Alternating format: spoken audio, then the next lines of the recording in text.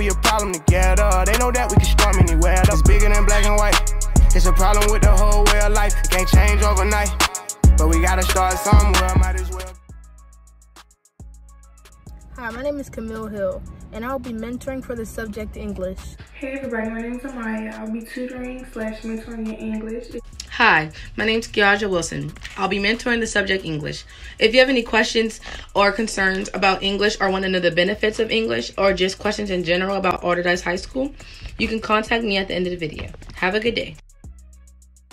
Allderdice AACAS realized that online learning has been difficult for many students in the Allderdice community. Hi, my name is Tiara Cole. I will be a mentor for the subject history.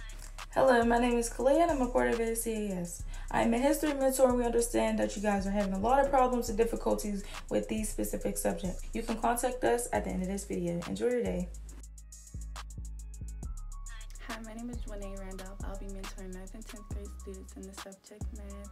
I want to offer my help from a student's perspective, so you can contact me through my team or my personal email, which will be at the end of the video.